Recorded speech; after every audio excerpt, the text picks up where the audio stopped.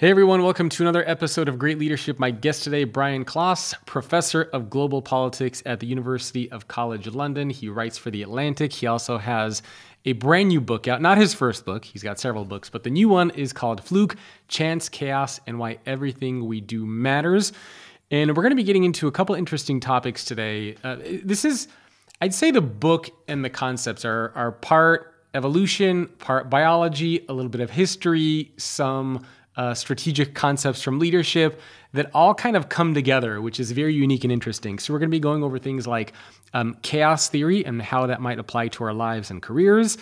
We're going to be looking at the concept of luck and can we shape our own luck? Is it, as the quote says, a combination of uh, preparation meeting opportunity?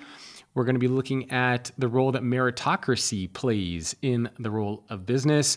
Uh, can we create our own luck? We'll also touch on the butterfly effect, and we're going to explore who is actually driving change inside of organizations. Is it the leaders or is it the trends? So, having said that, Brian, welcome to the show. Excited to talk to you. It's a pleasure to be here. Thanks for having me on the show.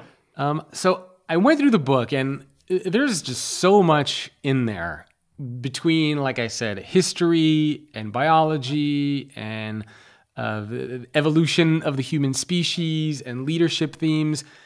Can you talk a little bit about why you wrote this book and how did you decide to put all of these things together into this kind of a concept? I mean, this must have taken several years to write. Yeah, I mean, it's the culmination of sort of a very long intellectual journey where I've I've long thought that a lot of things that we think about the world are just fundamentally wrong. And the book is trying to explore that and try to try to argue that the world is swayed a lot more by accidental and arbitrary forces than we tend to think, and that sometimes very small changes can have very big impacts. And much of the world around us tells us the opposite because the world runs on models that are mostly linear, which means that the size of the cause is proportionate to the size of the effect. So big things are caused by big causes. Uh, and also that, you know, these sort of models that we have for the world produce this vision of sort of you know, one X causes one Y. And so there's this very simplified version of reality that I think was reflected back at us. Now, the, the actual origin story of the book, in a way, comes from my own life because uh, when I was about 20 years old, I was sat down by my dad and he told me this story of this woman who came home to a farmhouse in Wisconsin in 1905. Uh, and, and she had four children and she snapped and decided in this in this one day just to uh, unfortunately kill herself and kill her four children. And her husband came home and found the whole family wiped out. And the reason I'm, I mention this in the book is because this is my my great grandfather's first wife, and he remarried later to my great grandmother. And so it's one of these things which, when you start to think about the way the world actually is, right? It's this tragic story but I don't exist unless there is this mass murder in, in Wisconsin in 1905. But you take this story one step further, you're hearing my voice, right? The only reason you're hearing my voice is because of this mass murder in Wisconsin in 1905. Yeah. Oh and so when you start to think about the world this way, where there's all these past decisions from people long dead that we don't even know about, right? Because I didn't know about this until I was 20 years old and my dad told me about it.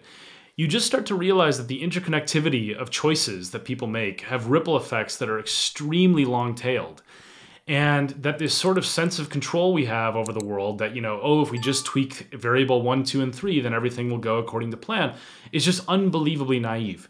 So what the book is trying to achieve is trying to draw on all these scientific lessons social science lessons lessons from business history philosophy etc and synthesize it into this argument that fundamentally the world is far more uncertain and far less controllable than we think it is and then trying to grapple with how should we live when we accept that truth. Is the argument that, and I, I remember that story from the beginning of the book, and as soon as I read that, um, uh, it was a pretty nutty story the way that you describe it. And I think a lot of people probably listening or watching this can trace back to some pivotal moment during their ancestors where if it wasn't for one particular decision or one thing that happened or one choice or one question or if the doors to the train uh, you talked about sliding doors i think in your book right and so there, there, and it's it's a an interesting, but it can be a very overwhelming thing to think about, where it's like every small decision can have this big impact, right? The butterfly effect. But is the argument that you're making that most of what we do and most of how we got to where we are is because of chance? Do we not have any kind of direct control as far as our our output, our learning, our development, our growth, the effort that we put into things? Should we just kind of give up and just see what happens? Yeah, so it's actually it, the thing that's funny is when you first encounter this way of thinking, the the initial reaction people have is nihilism. Like, oh, yeah. oh, we can't, you know, it's so overwhelming, we can't do anything. I have exactly the opposite view. And that's why the subtitle of the book includes the last phrase of everything we do matters, right? So I'll explain it this way. When, whenever you th- hear about people traveling back in time, right, you, you have this sort of mentality that people say to you. They say, don't, you know, obviously we can't actually travel back in time, but if you were to travel back in time, they say, don't step on anything, don't talk to anyone, because yep. you'll change everything back to the, the future, future, right? Might, that's, uh... yeah, exactly it's exactly this mentality, right? It's back to the future. It's you'll you'll you'll delete yourself from history. So don't you know? Be careful. And what I always have been sort of perplexed by is like, why do we accept that vision of time and the way that everything produces change in the past? And then we come to the present moment that we live in and we're like, yeah, like this stuff is just noise. It doesn't matter, right? Like you can squish whatever bugs you want, talk to whoever you want. All, you know, we get there to the, to the right place in the end. Yeah. And so we have this like juxtaposition of how we think about cause and effect from the past to the present. I think the past, by the way, is correct. I think that everything we do does matter. And so what's what's really exciting, and this is a conceptualization that um, a complex systems theorist at the University of Michigan, I'm sort of ripping off his phrase, but he says we control nothing, but we influence everything. Hmm. And and I think this is something that's really important for leaders to understand as well, because it's something where you cannot dictate outcomes, right? No, no leader could prevent the pandemic from happening. But every single choice that you make in your business, in your life, in any realm that you live in is important. And I think this is actually what I find incredibly empowering. The, the initial time when I talk to people about the role of chance and the sort of trajectories of life, they all say, oh, with, this is so overwhelming. I say, no, it's, it's so empowering because there's literally nothing you do that's unimportant. Yeah. And the reason I say that is because, you know, the, the ways in which we exist, when you actually think about them very carefully, every everything and i mean like i mean this in the most literal sense of the word literally everything had to be exactly as it was for me to exist because you know without getting into too much graphic detail you know the moment of a child being conceived has to be exactly the, yeah. that, that exact moment right? I mean if it's any different a different person's born. So when you start to take that seriously I, you know i think it's the most empowering idea i've mm. ever come across which is like every word I say is important. Every yeah. action I say is important, etc. So that's that's what I find really uh, uplifting about the the argument of the book. So if we were to take the pandemic example, right, because that's an interesting one, could you also argue the opposite of that? Because if you buy into the lab leak theory, right, and you say, well, there's nothing we could have done to stop the pandemic, can the flip side of that be, well, the person or persons or whoever may have leaked it, they could have stopped it if they would have made a different choice. So, you know, let's say I'm that person watching this, could my train of thought then be, well, if only I didn't open the door, or if only I didn't drop the vial, or if only I didn't do that, this pandemic wouldn't have happened.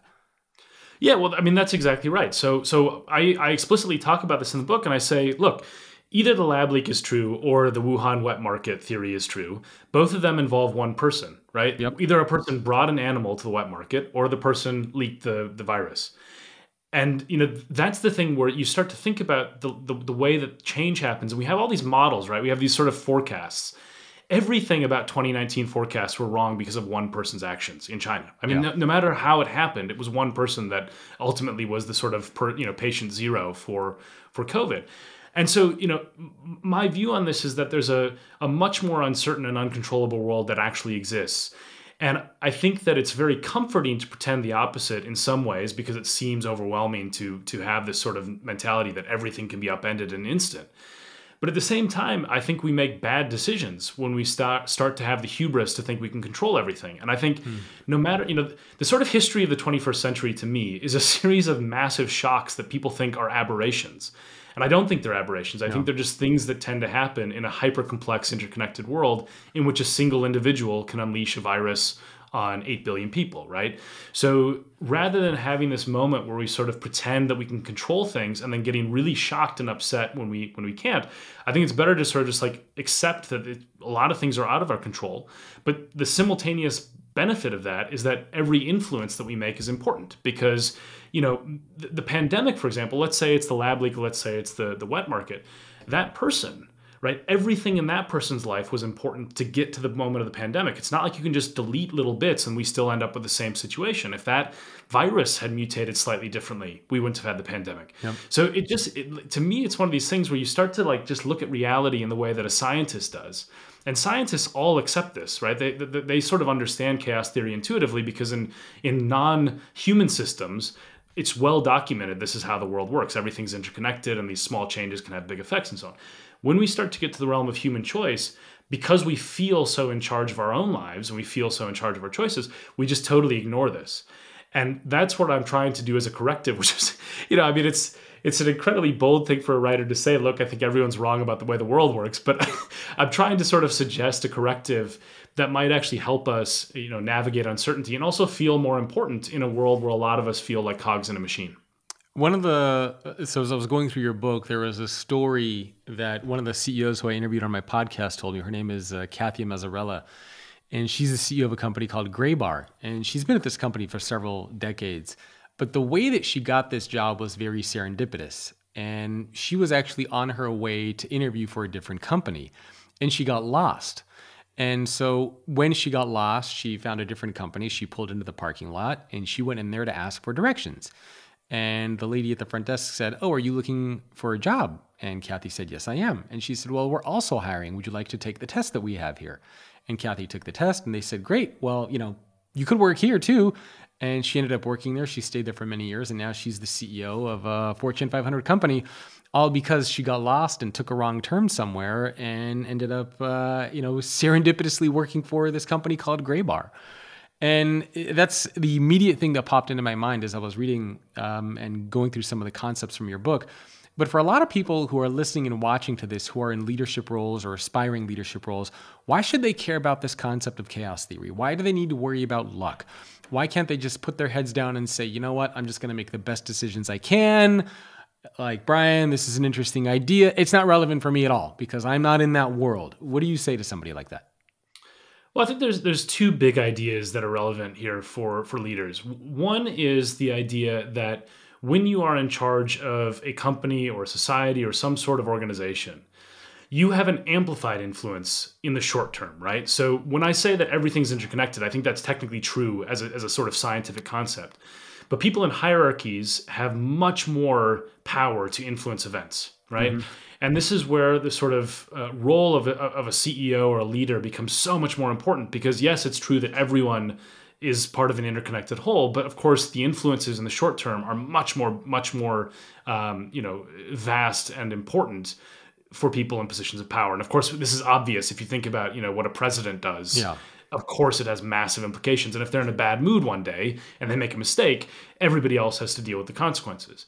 The second thing that I think is important is that it, it points to a form of leadership in which you realize that you can't just sort of phone it in every so often because you're setting an example or saying something to someone where you know i mean this is something that i think a lot of leaders are probably aware of but never necessarily see which is to say you have a conversation with an employee or you have a conversation with someone who works for you or is around you or whatever.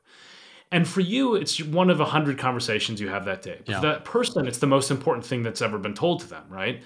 And they it, it radically affects their life. I mean, I see this on a much more diminished scale when I talk to students and they're making decisions about what to do with their lives, and they ask me, you know, what to do, and I give advice all the time. But for them, they have this conversation like once, right? So that asymmetry means that you are influencing the trajectory of so many people, and that all the decisions you make are going to have reverberations that are often unforeseen, right? Now, the, the, the, good news is that you have the power to improve lots of people's lives. The bad news is that, you know, even really good decisions in the short term might have bad consequences in the long term because there's just this sort of uncertain aspect of it where, you know, I am the byproduct of a mass murder. So sometimes bad decisions produce, yeah. you know, what I find to be a good consequence. But I think the other p- point, and we'll we'll get, on, I, I'm sure we'll get to this later on the episode, is that this also points to this aspect of uncertainty, and I think the hubris around decision making is something that can create catastrophic risk for leaders. So if you start to think that the world is more uncertain and swayed by chance and swayed by these small changes over long periods of time and so on, you have less of a sense that you can simply direct events in a way that is going to avoid risk.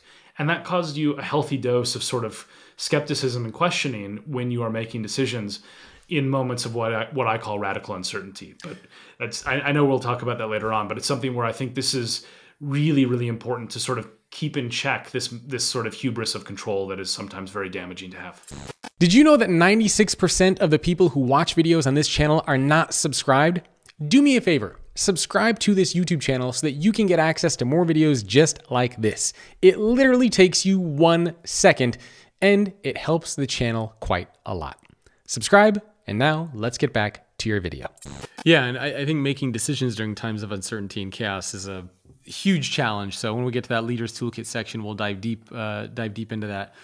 Uh, and I love the way that you kind of position this as a way for leaders to be more accountable and responsible for the decisions and the actions that they take.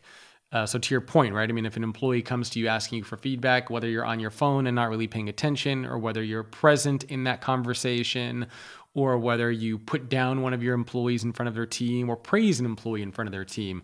And when I always speak at events, I always remind leaders that they have a profound impact on not just what happens in the lives of their employees at work, but also at home. Because how you make an employee feel at work, they're going to take that home with them at the end of the day. And when they see their spouse or uh, their significant other and they say, Hey, how was your day? It's going to shape their mood, right? It's going to shape uh, how they treat their kids when they see them, how they treat their wife or their husband. So every little thing that you do makes a big difference. But at the same time, it's also to your point, it could be overwhelming. Like it's not possible to always show up to be your best in every situation and in every encounter and in every meeting. It's not possible to always say the right thing. It's not possible to just be a perfect version of you. So, how do you balance this idea of um, striving for perfectionism, which is not attainable, versus accepting mistakes or missteps that you might make kind of in the concept or in the um, the context of this idea of, of, of fluke and chance.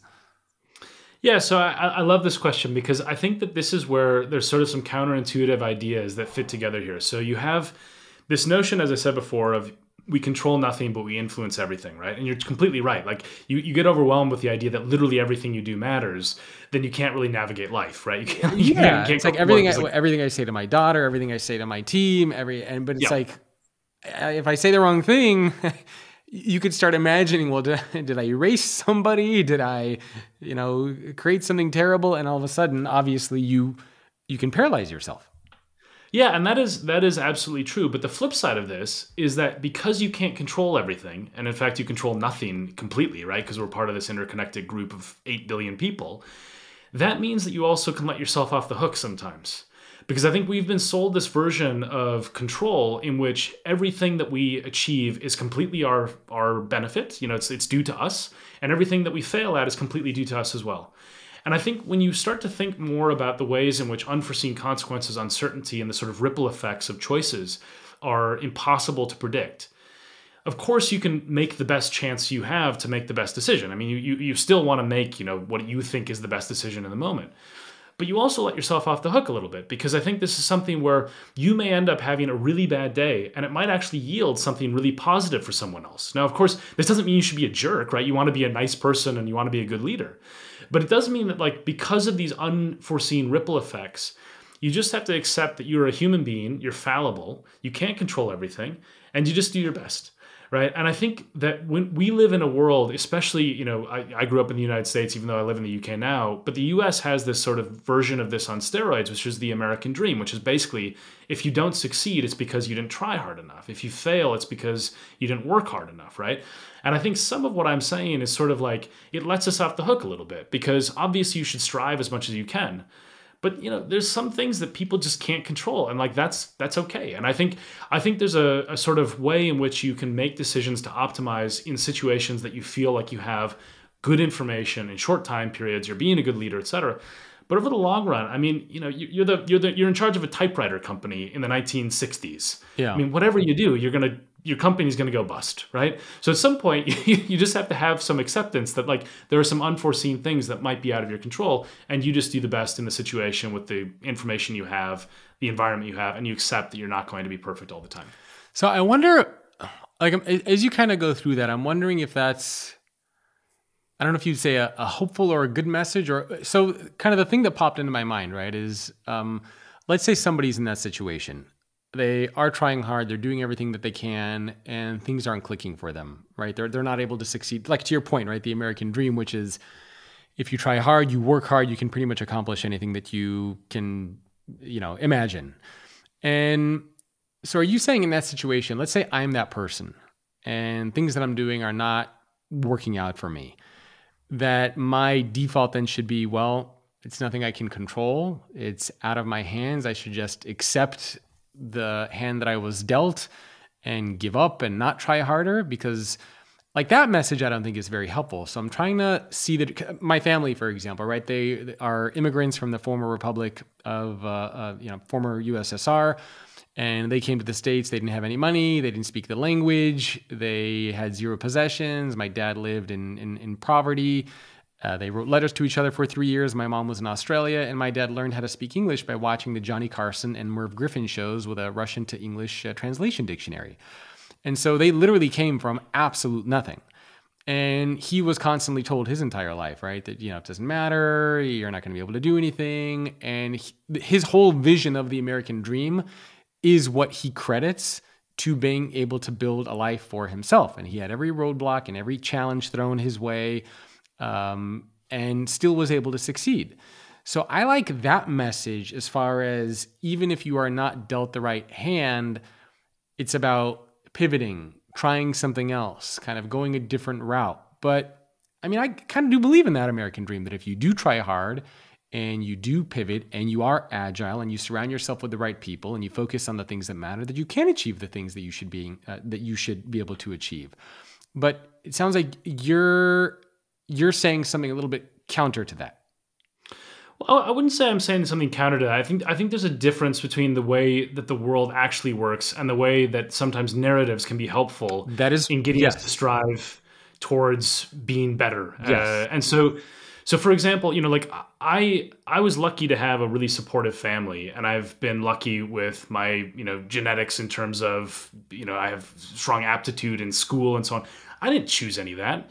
I mean, I didn't decide to be like a kid who was smart when he was, you know, six years old, and I didn't decide to have supportive parents. So like that stuff was out of my control, but I, I benefited from it. Yeah. Now, I think that humans are ever striving beings. So it's really good for us to think that we can always make ourselves a better version of ourselves. Yeah, that's and what the, the whole growth where, mindset concept is all about, right? Yeah, and, and I think this is something where it's it's it's true. I mean, you you can make yourself have an improved life by working hard and so on. And I think a lot of the time this does work.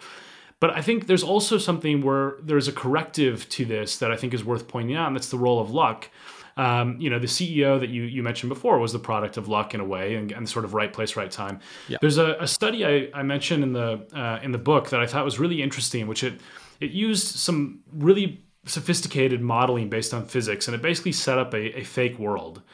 And then they had lucky and unlucky events, and they were looking for wealth and the distribution of sort of how luck plays a, a role in this and they sort of modeled luck as though lightning strikes, right? It's just sort of random, and mm-hmm. I think that's probably roughly accurate. So what was really interesting is that they they they graphed the people in this fake world on a, a scale of the least talented to the most talented, and of course most people are in the middle. That's how the real world is. It's how the model was. And what they found was that, of course, luck most often hits people in the middle. And the reason for that is just because there's the most of them, right? So if yeah. lightning is trying to strike somewhere, it's going to hit the place with the most people. And those people often got very fortunate in life. They got bigger benefits in the model. They would end up as very wealthy and so on. So there is, of course, a relationship between talent and success. There's no question about that. But there's also a relationship between luck and success. Yes. And there's a relationship between a good upbringing and success and genetics and success. And all these sorts of things fit together. And so I think, you know, it's it's not to say, oh, don't try. Of course you should try. I mean, there's no question that the American dream, even if it doesn't work perfectly, is still a, a sort of aspirational mindset that can help people. It's more that when you get dealt a bad hand or when things aren't working, you're not fully to blame. And I think that is actually true. I think that is something where, you know, I can't claim all my success as my own personal credit because, you know, what what did I how did I decide to be born into a family that was supportive with educated parents who would pay for my schooling and so on and and and and give me the sort of emotional upbringing in which I was told to you know pursue my intellectual curiosities and so on all of that was out of my control. So I, I, sort of think that this is where you you can simultaneously believe that there's a role for the aspirational mindset, but also accept that it's not actually how the world works all the time. And I should point out that a lot of the CEOs that I did interview, whenever I would ask them, why did you get that role? Like, why are you CEO and not somebody else that you worked with? A lot of them did say luck. A lot of them did say right place, right time. Uh, I took on the right opportunity that didn't, somebody else didn't want. Um, something like a lot of them do acknowledge that luck is part of what got them to that pinnacle of leadership success. But I guess one of the things that I worry about is, and I agree, we should all acknowledge that luck plays a certain role. So, for example, I am in Los Angeles now. I used to live in the Bay Area. And, you know, we live in LA. We moved here a couple years ago during the pandemic. We're closer to family. We have a house that we love. Like, we are like everything worked out perfectly. But it was luck because had it not been for the pandemic, we would have stayed in the Bay Area. Um, we wouldn't have had this great community of friends that we have now. I wouldn't be close to family like I am now. I wouldn't have the support network that I have now. So it was luck that brought me to Los Angeles, where originally my wife and I were basically thinking we are never going to come back to LA ever, ever, ever. Like that's where our mindset was. Pandemic happened, and then a couple months into it, we're like, what the hell are we doing here? Our friends moved. We have no family here. We have no community here. Why are we in the Bay Area? Mm. And so we were relocated to Los Angeles, and it proved to be one of the best decisions that we have ever made. We would have never made it had it not been for the pandemic. So I'm a big believer in that element of, of luck and chance. I guess the challenge that I have is when it comes to balancing luck with career success and aptitude and pushing yourself and trying to achieve the things that you want to achieve. Um, I, I, mean, I get it if you want to get to the like the, the pinnacle of success. But let's say, for example, you're an entry level employee and you're striving for mid level management where there are a lot of positions open. There are a lot of companies that are hiring. You know, there's a lot of opportunity for mid level management. And let's say you are trying and you're not getting into mid level management. I think in an you know, kind of like balancing the opportunity versus understanding the role that luck plays. If you have a lot of opportunity and you're not getting into that role, then I think maybe relying on luck can be a little bit dangerous and assuming I'm not getting there because the cards are just stacked against me. But if the opportunity is small, then luck probably plays a bigger role. I mean, I don't know if you would agree with that, if there's a correlation to that, but uh, hopefully you can see what I'm going for, right? The larger the opportunity, probably the less of a factor luck plays and the more of a role your aptitude and your skill and your drive and motivation plays. But obviously, if you're trying to win the lottery or you're trying to become the CEO of a big company where there's only, you know, 500 roles available for the Fortune 500 company, a lot of it will be luck. Yeah, I think I think, and as I said, I think that there is certainly a, a major place for um, this sort of striving, and I, and I think it is. You know, the, the world is not fully meritocratic, certainly, but it is. It has some meritocracy in it. So I, I'm, I'm not trying to suggest that this is not something that people should, you know, just become fatalists and say, "Oh, I'm a failure. It doesn't matter because I couldn't do anything about it." I don't think that's true. I just think that there's a role for small chance events, diversions in our lives, et cetera, that we should acknowledge. I, I, I love the story, by the way, though, about your your move because it, it relates to a, a very to, to me a very profound idea that I came across when I was researching this book, which is that uh, humans believe they think they know what is best for them. Yeah. Right. All the time. And there's this amazing study that was done in the UK here in London, where there was a tube strike, so the subway st- shut down for a day, right? It was like the the drivers went on strike and they just, you know stopped working and so on. And basically everybody in the city all of a sudden had to find a different way to work. So like a few lines had shut down and they had to either go on different lines or they had to walk or they had to cycle or whatever. And what was amazing is when these when these uh, economists sort of crunched the numbers, they found that like 10% of people after the strike had found a better way to work that they either enjoyed more or that was faster and therefore yeah. they ended up keeping it, right? And so the pandemic for for you is is an example of this, where it sort of forces you out of a situation that you think was was optimal, and then it ends up that you end up in a in a situation you prefer. And I think this speaks to why it's important philosophically to understand that we don't control everything. Because if you think you control everything, you think you know the answer to all the questions that life has to throw at you. And if you don't, and you accept this sort of aspect of the uncertainty and so on, then experimentation becomes much more important.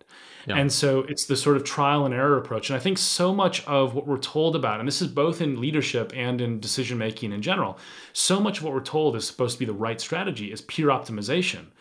But the problem is optimization exists only in a world in which you think you know what you're supposed to optimize for, right? And I think this is where the pandemic, for a lot of people, they sort of saw like, okay, uh, maybe there's something else I want to optimize for that I didn't realize, like being closer to family or having more leisure time or whatever it is. So my my, my point is that I think there's some of this stuff where like there's value to the philosophical ideas, even if it doesn't mean, okay, don't try, right? I mean, there's no way in which I'm saying people should just give up and, yes, and not try, yeah. especially because that point that I made before of, of, how everything you do matters. Like, by trying, you're also potentially making the company better. You're also producing ripples that may inspire other people. I mean, there's all sorts of benefits to this even if the world isn't fully meritocratic, it doesn't mean you shouldn't try. So I, I didn't want to give that impression because I think that's quite a dystopian yeah, no, sort of interpretation. But I think the way that you phrased it is actually better. It's not don't try, it's trial and error. And I think understanding and embracing that concept makes a lot of sense.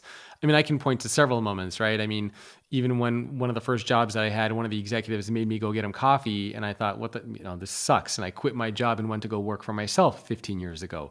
When my wife got laid off working for a Fortune 100 company years ago, and she also went off working for herself. Both of those things ended up being enormously valuable. And of course, luck, because had that not happened to me, who who the hell knows where, where I'd be working now or what I'd even be uh, even be doing. Um, but it's also, you know, there's that quote, and I was curious to get your take on it, right? The, the whole idea that luck is preparation meets opportunity. Where, uh, for example, in my case, um, when I was asked to get this CEO coffee, there were a lot of paths that I could have taken, right? I could have just shut up and continued to get that CEO coffee each week and continue to just drive into downtown Los Angeles and hate my life and maybe work my way through that company and maybe one day become the CEO 10, 15, 20 years later. Or I could have gone off on the path that I went, or I could have just gone off and done nothing. And so uh, I think part of it is kind of identifying the opportunity, right? I, I think probably all of us should get more aware of like identifying what are those pivotal moments in our lives and then trying to ask ourselves what is the action that we want to take because i remember very consciously saying do I want to stay at this kind of a company forever where I'm getting this executive coffee? Or is there an opportunity for me to do something else? And I worked like a crazy person to try to work for myself, right? I mean, I consciously and put a lot of time and effort. But what's your thought about actually reflecting and identifying those moments? It, it reminds me a lot of a chess game, right? In a game of chess, there are these there's this concept called critical moments. And a critical moment is when you can kind of feel that there is a position on the chessboard, and I play a lot of chess, by the way, to give context. Um, a critical moment is when you can sense that it's a it's a position on the chessboard where the next move that you make can either make or break the game. Either you're gonna you, you can just sense that it's a crucial moment and you have to take a step back and take extra time and calculate and make sure that the next move you make is going to be the right one Whereas opposed to, for example, in the opening of a chess game, you know, people are just playing moves because they kind of know what the first few moves are going to be. But being able to spot those critical mm. moments is crucial. Would you say that that is also applicable for our life choices and our career choices and taking a step back and just saying, hey, wait a minute, there's something here and I got to really figure out what I'm going to do next? Yeah, so again, I, will split this into the way that I think the world actually works and then what's the practical advice from it, because they're different, right? So I think that a chess game is actually a poor analogy for the way the world works because those are discrete moves, right? Yeah.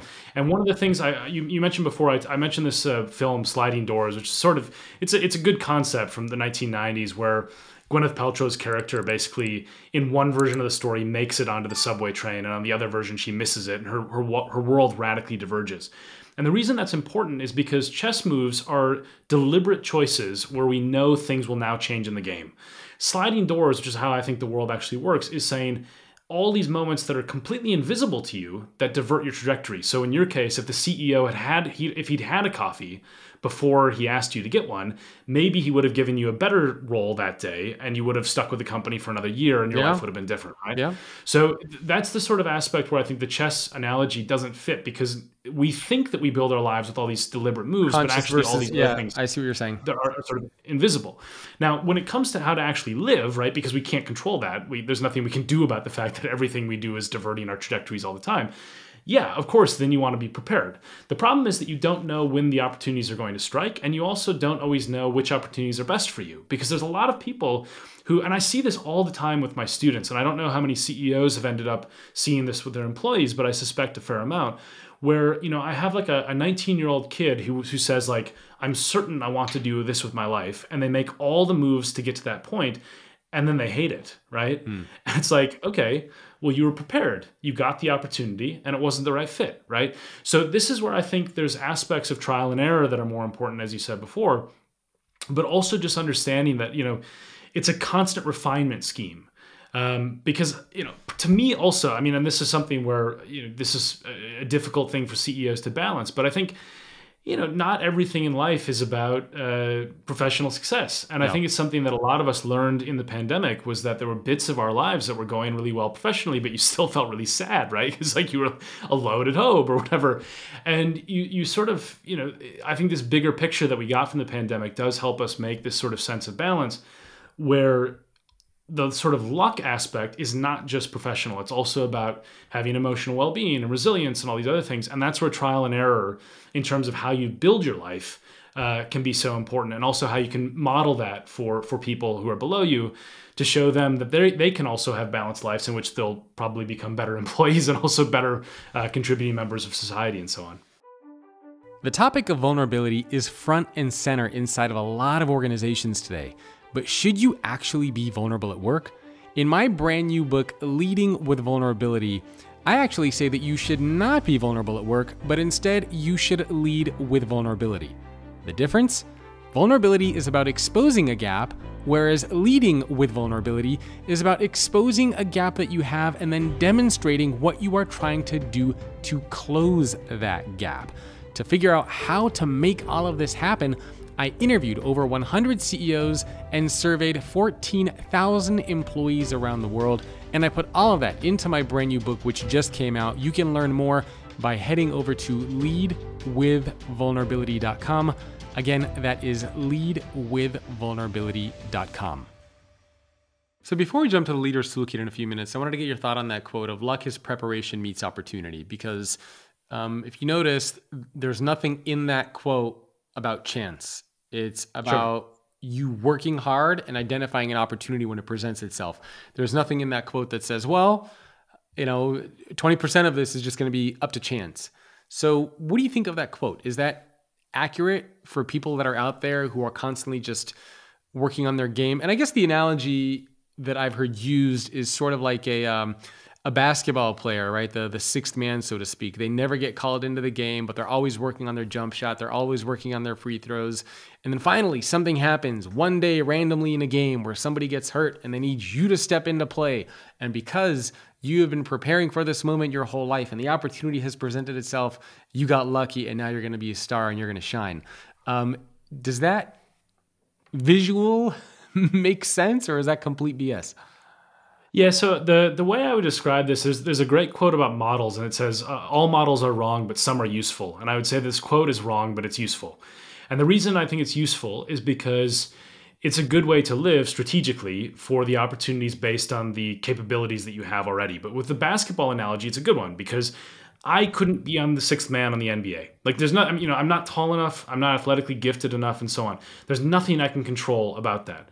But then once you get to the point where you are, then okay, yes, preparation and opportunity are really important for when luck, you know, shines upon you. So I think that it's wrong in the sense that, you know, it's not just something where success is bred by things that are in your control. It's that there's a whole array of factors that are out of your control that lead to success as well. But once you're in those moments where you're making decisions or you're strategically planning your life, it's a useful framework for understanding the world, even though it's not technically true about how the world works, right? I mean, if I was born in a coma, you could have all the quotes that you wanted to give to me. It wouldn't help me become a CEO. So it's it's just not true, but it doesn't mean it's not useful. And I think that's where models for the world and sort of strategic thinking um, can can help us navigate situations. And what I'm trying to do is synthesize in the book, you know, the sort of like, okay, what is the world actually like? And then what are the sort of philosophical implications from that? And separately, that doesn't necessarily mean that we should live totally differently in these situations because of course it's obvious that if you have a moment where opportunity knocks you should take it and you're more likely to take it if you're prepared yeah i mean i think a good way to summarize the book is to live life more with intention um, to be more purposeful about the things that you do because to your point everything that you do matters and if you kind of just drift through life and assume that you know things are just going to happen to you and nothing you do matters uh, you know you're very wrong about it so that, that was kind of like a core message that i took is be purposeful and intentional and present in all aspects of your life whenever you can and give yourself grace in situations when you do make those mistakes um, so one more question for you before we jump into the the toolkit section on uh, how to make decisions during times of uncertainty and that's really around who is driving change inside of an organization. Is it the leader or is it the trend? Because as you know, one of the big topics of conversation is change management, leading through change. But is it the actual leader who is shaping and driving this? Or are these external forces that are just dictating what we're doing and leaders are just kind of along for the ride? Yeah, so so leaders matter an enormous amount, and I think that the the sort of pendulum in in trying to describe change has swung too much to this sort of disembodied trend. Because you know, when, whenever we get told about trends, it's really weird how we never get told like where they're coming from. Yeah. But they're coming from people. They're aggregations of people, right? And, and those people are being directed to a certain extent by people who are more influential, aka leaders. So I, you know, I think the idea that some trend is is a disembodied thing away from human action is is utterly bizarre. Now, when you think about this in sort of my world, so I'm a political scientist, right? And I'm not going to go into the, the, the the highly divisive world of American politics, except I for feel like we could have a whole podcast conversation about that. I'd love to get your thoughts on that stuff too. well, in this context, what I will say is I think that everyone listening can agree that the United States is different because Donald Trump was elected president, right? And one of the things that used to happen, and this has an analogy for the trends versus leaders debate in political science, where you know I'm I'm uh, in, uh, in in that field. There used to be this idea of like we only study the American presidency. We don't study the presidents because the presidency dictates events. And all presidents come and go, but they sort of end up having the same sort of behaviors because they're constrained by Congress and all this stuff, right? Like, They have the same foreign policy interests, et cetera, et cetera. And Trump just knocked that out of the water. I mean, he just blew it away because it's so obvious that the world would not be the same if, if Hillary Clinton had won in 2016. So you, you have this situation where I think, you know, we, we underplay the, the role of leaders sometimes. And I think they're hugely, hugely influential. Um, and I think they're, the, the reverberations of leadership are ones that reshape relationships well into the future, right? And I think this is something where uh, it's a, it's an extremely naive view to think that there's this sort of inevitability about change. I mean, it goes back to that point we made about the pandemic before. That was one non-influential person, right? So the capability of change is enormous, even for one non-individual person in the right place in the right time. Multiply that by you know a, a- a factor of a daily sort of occurrence where leaders are reshaping the world, and I think that's the way to to sort of view change. That highly influential individuals dictate change in a profound and and really really deep way. And it's not just some inevitability where we're all sort of on the train just waiting to get to the destination. The the, the driver of the train really matters. Yeah, no, I think that's uh, that's well said. Um, okay, let's jump to the leaders toolkit section because a lot of people are going to be wondering, well, how do you actually make decisions during times of radical uncertainty, which it feels like for the past few years we have been in, and it doesn't seem like there's any signs of this radical uncertainty slowing down. Uh, if anything, it's only picking up, especially as we go into 2024, which seems to be like a you know pretty chaotic year. So if you're a leader in that kind of a situation, you know, a lot of leaders traditionally go through these forecasts, right? They, you know, maybe project one year, two year, five years, 10 years in some crazy situations, what we used to do in the, you know, 60s, 70s, 80s. How do you advise leaders make situations in this kind of a climate? Alrighty, everybody, my conversation with Brian continues. And in the Leaders Toolkit section, we're going to be talking about how to make decisions during times of uncertainty and chaos, specifically radical uncertainty. So if you're making plans for 2024 and beyond and you're wondering, well, it seems a little bit chaotic and hectic out there. How should I be making strategic decisions? What should I be thinking about? How should I be planning, making any kind of decisions? Then this Leaders Toolkit episode is going to be for you. It's only available for subscribers on Apple Podcasts to Great Leadership Plus. So I hope that will encourage you to sign up there. You can also grab a copy of my brand new book, Leading with Vulnerability, at leadwithvulnerability.com. So far, it's got a perfect five star rating on Amazon. So uh, I hope that too entices you to grab a copy of the book. And last, but not least, if you would like to join the 40,000 members strong on our Substack community, you can head over to greatleadership.substack.com. Again, that is greatleadership.substack.com. And I believe we also have a promo that's going on there as well. So if you want to get access to that promotion, um, you can go to greatleadership.substack.com forward slash GL podcast. Greatleadership.substack.com forward slash GL podcast. That will give you 20% off of the subscription. If for some reason that doesn't work, just email me, jacob at thefutureorganization.com. Uh, tell me you heard this promo on the podcast, and I will go ahead and uh, take care of everything else from there. So that's it for me. Thanks again for tuning in, and I will see all of you next time.